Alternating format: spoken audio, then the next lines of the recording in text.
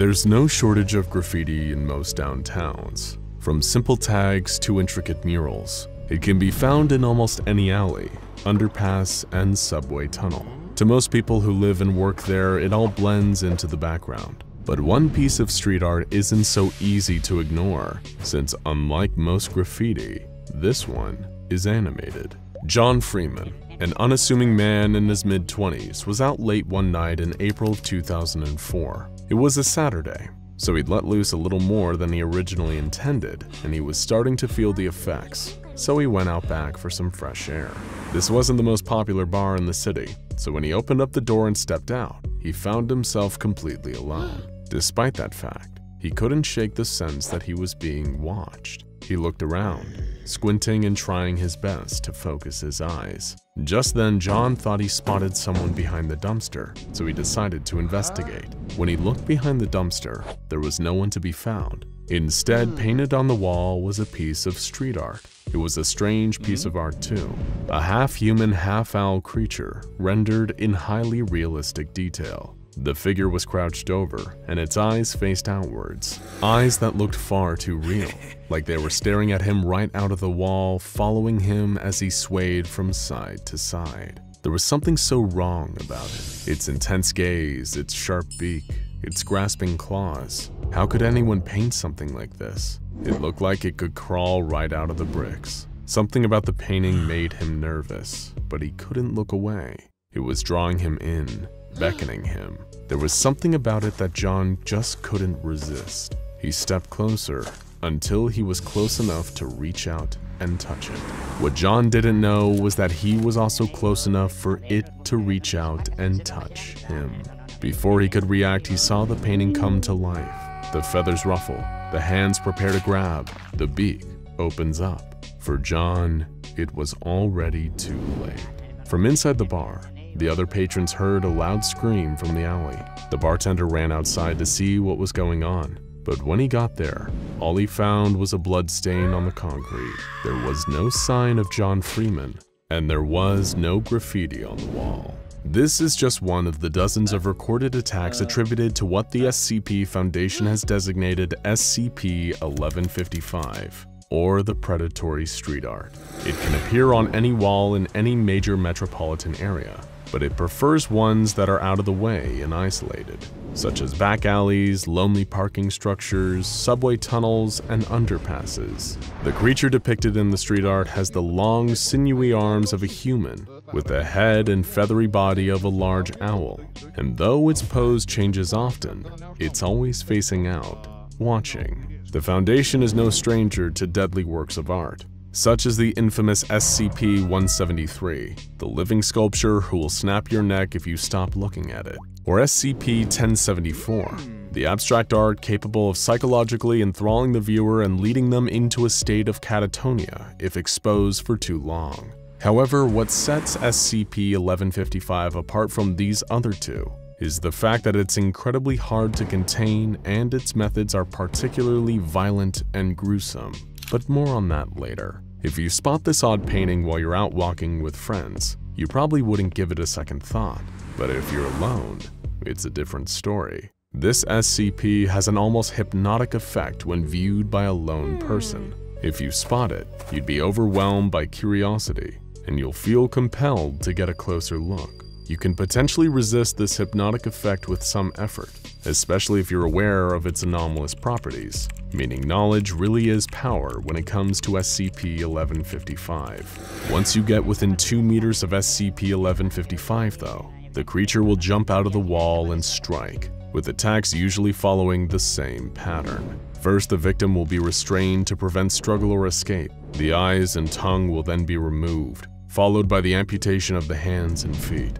The victim will then be disemboweled and the intestines and stomach removed all in as little as 6 seconds. But not all of these attacks result in death. Some have actually managed to survive attacks by the predatory street art, with those lucky few being eligible for Class A amnestic therapy, courtesy of the Foundation. In most cases though, there's no survivors to find and often not even a body at all. Once SCP-1155 has begun its attack, and if it remains unspotted, It will snatch up its prey and vanish before appearing on the wall somewhere else. The Foundation has made attempts to discover where the bodies end up by equipping D-Class test subjects with GPS trackers, but the results of these tests have been inconclusive. Recorded relocation events have covered distances as small as 15 meters or as far as 800 kilometers. But the true range of this creature's movement is unknown. If caught in the act of feeding though, SCP-1155 will disappear, leaving its victim behind. Usually in these cases, the victim will bleed out and die, but some have survived. Two such survivors were D-Class personnel, who were used for tests to see what happened when the attacks were interrupted.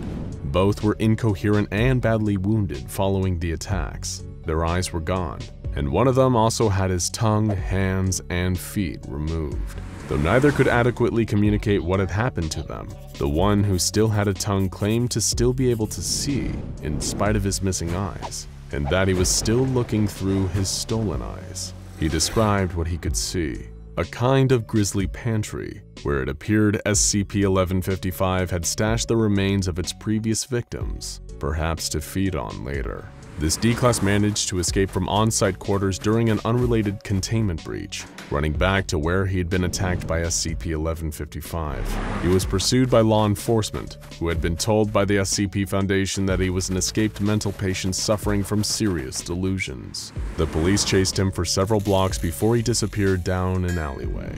Officers at the scene reported hearing a scream, but when they got to where it came from, there was no sign of the D-Class just a dead-end alley with a blank wall. The other D-Class, the one with no tongue, was successfully relocated to an undisclosed location. While the patient was being moved though, Foundation surveillance noted an increased level of movement from SCP-1155. The painting was appearing and disappearing, and in each relocation, its posture suggested hunting and tracking behavior, as if it was pursuing the one who got away. The places it was manifesting also became more and more public. At one point it appeared on the side of a building right in the middle of town, though it was too high up to be reached by any of the hundreds of witnesses. While all of this was happening, the D-Class being held for medical treatment was becoming increasingly distressed. The Foundation theorized that the entity may have been frustrated at losing its prey, and that it would likely continue to relocate in and out of highly visible areas until the D-Class was returned to it. Because of this, the executive decision was made to take the D-Class to the outskirts of the city. SCP-1155 manifested in the area, and the team left both it and the D-Class unobserved. Both the creature and the D-Class soon disappeared, and SCP-1155 resumed its more manageable hunting behavior. Due to this SCP's ability to jump from place to place, it has proven difficult if not impossible to contain, and has a well-earned Keter class designation as a result. At first the Foundation tried physically removing the wall on which the SCP had manifested, but this only caused it to relocate. A similar result happened following attempts to paint over or damage the painting. Current containment procedures involve closely monitoring the disused shopping mall lot where SCP-1155 currently seems to live, for lack of a better term. The mall has been marked as condemned, and Foundation agents continually monitor the area, posing as security guards to dissuade any civilian traffic from entering the danger zone. Mobile Task Force Pi 1, nicknamed the City Slickers, tried to obscure any surface on which the creature appeared, but this hmm. didn't end well. First, the team leader ordered that a vending machine be placed in front of the graffiti while it was located in an alley that transients were known to frequent. This was supposed to be only a temporary stopgap, intended to stop any unsuspecting person from falling under SCP-1155's hypnotic spell. In time, a proper containment zone would be established, with more agents forming a security perimeter around the area. But by the time the extra resources arrived and the vending machine was moved, the painting had disappeared. It had responded to the obstruction by relocating and reappearing on a wall at a nearby children's playground. The Foundation quickly mobilized, interrupting SCP-1155 in the middle of an attack in order to trigger another relocation.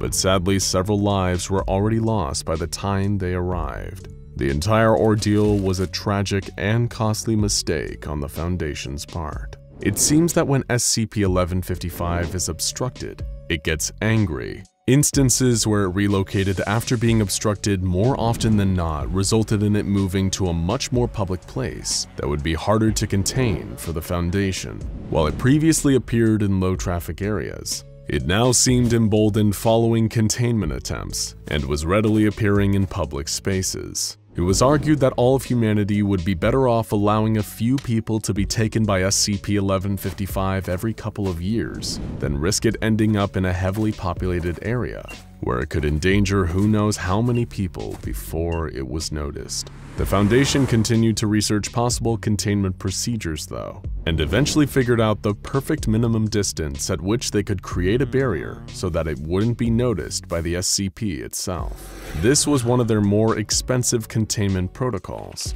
as it required purchasing an entire mall, only to shut it down and condemn it under the pretense of there being a dangerous sinkhole underneath it. The expense seems to have been worth it though, as SCP-1155 is currently still inside the parking structure connected to the mall. The mall and the parking structure are under round-the-clock surveillance via motion capture security cameras, and while there have been no other relocations, there's no telling what might trigger one again. So if you live in a big city, and you find yourself walking alone at night, keep an eye on the street art. If you spot a painting of half-human, half-owl that you could swear wasn't there before, resist the urge to check it out and just cross the street instead. Now go check out another tale of a man-eating monster, SCP-082 Fernand the Cannibal, or SCP-3001 Red Reality for one of the scariest anomalous locations known to man.